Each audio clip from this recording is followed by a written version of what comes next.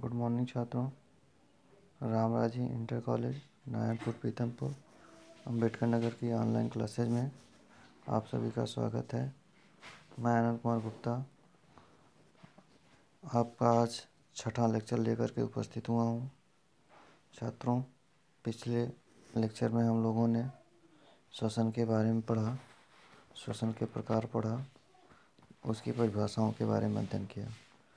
अब छात्रों, हम आज अध्ययन करेंगे मानव श्वसन तंत्र। हम अध्ययन करेंगे मानव श्वसन तंत्र। इसका इंग्लिश होगा respiratory system of human respiratory system of human इसके बारे में आज अध्ययन करेंगे।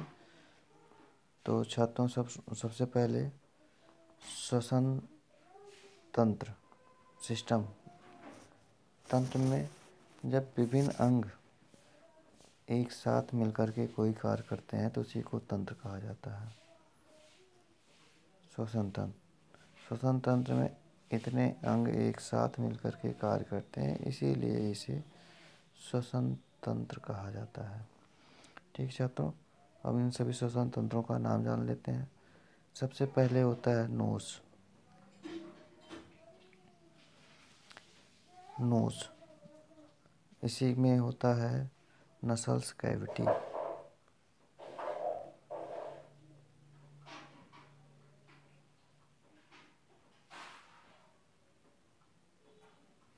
लेकिन आपके स्तर तक, कक्षा दस तक के स्तर में केवल नोज़ की चर्चा हुई है।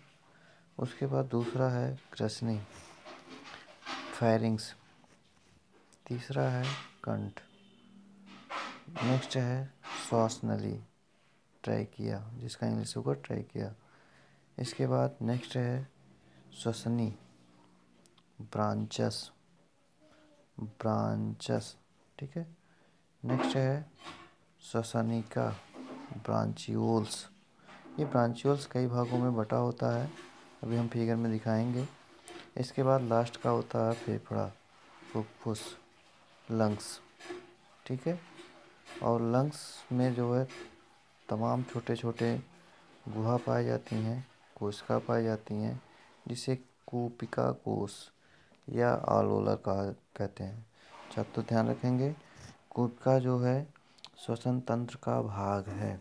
इसके बाद लास्ट जो है रुधिर वाहिकाएँ जिसे इंग्लिश में कैपलीस कहा जाता है। तो श्वसन तंत्र में कौन कौन से भाग हैं? नासाद्वार, नोज़ ग्रसनी, फेरिंग्स, कंठ लैरिंग्स श्वास नली ट्रैकिया, श्वसनी ब्रांचस, श्वसनिका ब्रांचियोल्स फुफ्फुस लंग्स, कूपिका कोश आलोलर रुधिर वाहिका कैपलिस। इतने जो है, नस, श्वसन तंत्र में अंग पाए जाते हैं। ये सारे तंत्र मिल करके एक साथ कार्य करते हैं, जिसके कारण से हमारा श्वसन की प्रक्रिया आसानी से होती रहती है। ठीक है? अब नासे द्वार जो है नासा द्वार जैसा नोज़ में देखते हैं, यहाँ पर छोटे छोटे रोम पाए जाते हैं। इन रोमों का काम है मिट्टी या धूल की कणों या छोटे जीवाणुओं को रोकना। इसके बाद ग्रसनी कंठ। ये जो है, ग्रसनी जो है एक कीपनुमा संरचना होती है। जैसा कि हम आपको अगर फिगर में दिखाएँ। इतना भाग देखिए पहले नोज़ है, फिर फेरिंग्स है। कीप नुमा संरचना होती है क्योंकि इसमें दो तरीके की नलिकाएँ आकर के मिलती हैं। पहली नलिका इधर आ रही है, नासो फेरिंग्स दूसरा आ रहा है ओरियो फेरिंग्स ये दोनों आकर के मिलती हैं। एक और नलिका आकर मिलती है, जिसे कहते हैं लैरिंगो फेरिंग्स ठीक है, ये तीनों आकर के मिलते हैं। तो इस फिगर को बाद में समझते हैं। बस केवल हम नाम जान लेते हैं। तो नासा द्वार हो गया ग्रसनी हो गया, कंठ हो गया। ग्रसनी के नीचे एक एच आकार की संरचना होती है, जिसे आप थायराइड कहते हैं। उसी के बीच से निकला हुआ एक नलिका होती है, जिसे कंठ कहा जाता है। और यह कंठ गले से नीचे वक्ष गुहा तक एक छोटी सी नलिका द्वारा खुलती है, जिसे जो है ट्रैकिया या श्वास नली कहा जाता है। यह ट्रैकिया नीचे की तरफ़ आकर के दो भागों में बढ़ती है, एक भाग को ब्रांचस कहा जाता है। तो राइट और लेफ़्ट दाएँ और बाएँ ब्रांचेस में बढ़ता है, और ये ब्रांचस विभिन्न ब्रांच्यूल्स में बढ़ता है। ब्रांच्यूल्स की संख्या लगभग नौ से दस होती है। ये छोटे छोटे शाखाओं में बढ़ते हैं और अंत में जाकर के ये कूपिका में मिलती हैं। इसमें हम फिगर अब दे फिगर से समझते हैं। देखिए जैसे हमारा ये फिगर है।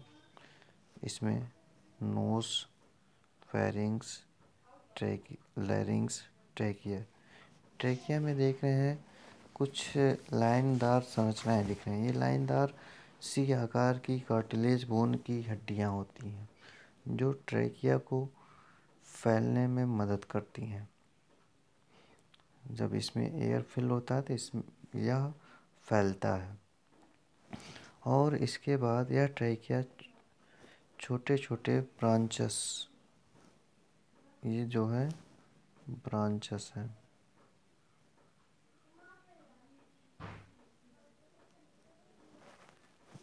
ब्रांचेस है। इसको फिर से एक बार लिखते हैं। ये ब्रांचेस है। ये ब्रांचेस अंदर की तरफ़ जा कर के, अंदर की तरफ़ देख रहे हैं, तमाम शाखाओं में बटा हुआ है। ये जो शाखाएँ बटी हैं, ये ब्रांचियल्स के ही पार्ट हैं, शाखाएँ हैं। ये अलग अलग नाम से जाने जाते हैं, परंतु आप यहाँ इतना नहीं पढ़ना डीपली बस फिगर में देख लीजिए। इसके बाद यहाँ आप जो है, कुछ गोल गोल संरचनाएँ देख रहे हैं। ये जितनी भी गोल गोल संरचनाएँ हैं इन्हीं को कहा जाता है कोपिका या आलोलर कहा जाता है। ठीक है? कोपिका या आलोलर यही है। और ये पूरा जो संरचना है, ये लंग्स है। ये लंग्स है। ठीक है? लंग्स देख रहे हैं, दो आवरणों से घिरा हुआ है। एक बाहर की तरफ़, एक अंदर की तरफ़। बाहर की तरफ़ जो है ये पेरी कार्डियल इसे कहा जाता है। पेरी कार्डियल और जो अंदर है, उसको कहा जाता है विस, सॉरी, प्लूरा। इसको लंग्स के कवर को प्लूरा कहा जाता है। और जो ढका हुआ है लंग्स को, इसको प्लूरा कहा जाता है। एक जो अंदर की तरफ़ है, इसको कहा जाता है विसरल प्लूरा और जो बाहर की तरफ़ है, इसे कहा जाता है पेराइटल प्लूरा पेराइटल और फिर प्लूरा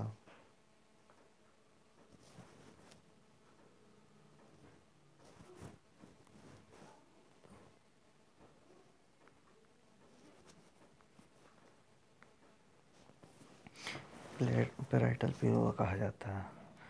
इसके बाद आप नीचे की तरफ़ देख रहे हैं डायफ्राम। ये डायफ्राम है, जो श्वसन में मदद करता है। इसके बाद साइड में देख रहे हैं रिप्स है, दोनों साइड में लगा हुआ है रिप्स है। रिप्स और डायफ्राम श्वसन की प्रक्रिया में मदद करते हैं। तो ये तो केवल हमारा हुआ सिस्टम के भाग, ठीक है? ये तो श्वसन अंग के नाम और उनके भाग हो गए। ये तो इंग्लिश में लिखा हुआ फिगर है और ये दूसरा जो फिगर दिया हुआ है, ये आपके बुक का हिंदी में दिया हुआ है। तो दोनों फिगर में देख लीजिएगा। और रिप्स की जहाँ तक बात होती है रिप्स लंग्स को चारों तरफ़ से कवर किया रहता है, जिसके कारण से वह सुरक्षित होता है और आसानी से उसमें श्वसन की प्रक्रिया हो पाती है। तो ठीक छात्रों आज केवल हम लोगों ने इतना अध्ययन किया कि श्वसन अंगों के नाम और इनका का कार्य किस प्रकार से होता है और ये श्वसन की प्रक्रिया किस प्रकार से मनुष्य में होती है, इसके बारे में हम कल अध्ययन करेंगे छात्रों छात्रों सभी लोग होमवर्क करके नहीं दिखा रहे हैं तो सबसे रिक्वेस्ट है कि सारे लोग होमवर्क करके हमारे पर्सनल नंबर पर ज़रूर व्हाट्सअप करें। और किसी को कोई समस्या होती है तो वो ज़रूर हमसे कॉल करके बात कर सकता है कभी भी एनी टाइम और होमवर्क अगर पर्टिकुलर टाइम में करने में उसको समस्या होती है तो कभी भी करके हमारे व्हाट्सएप नंबर पे कर दें, हम तुरंत उसका रिप्लाई कर देंगे कर दिया करेंगे ओके छात्रों, कल हम पढ़ेंगे श्वसन की प्रक्रिया। आज तो केवल हम लोगों ने श्वसन तंत्र के बारे में अध्ययन किया, ठीक है ओके मिलते हैं नेक्स्ट क्लासेज में। Thank you